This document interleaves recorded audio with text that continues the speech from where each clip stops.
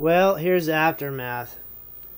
It wasn't heating up enough and I accidentally slipped the rod in there in the flame and it spattered.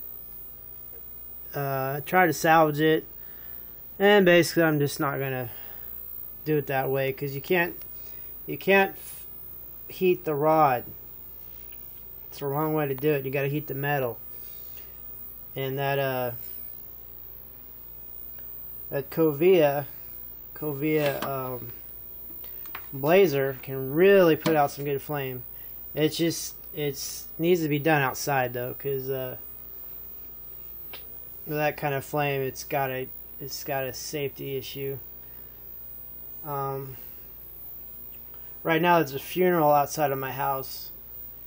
I live right next to a church, and it's awkward as heck to go out there and start blazing away on this. It's aggravating. You finally get some downtime, and then some other outside issue happens. So it's like getting this project has been a big. Uh,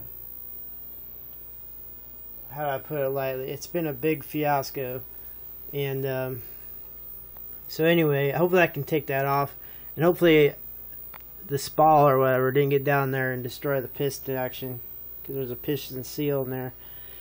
So I'm going to take this out on the concrete with a heavy duty high flame, plenty of sunlight to see by, plenty of uh, extinguishing water and whatever if I need it for safety, and just go to town. But I gotta wait until those church folk get out of here because what a way to ruin a funeral.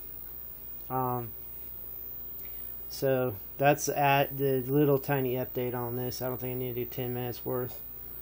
Um, so there you go.